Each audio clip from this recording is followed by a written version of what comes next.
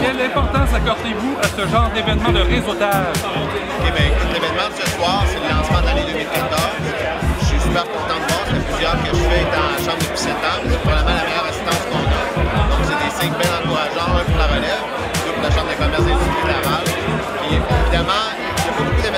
qui nous permettent de réseauter les jeunes gens d'affaires, mais les gens d'affaires de tout, euh, âge aussi.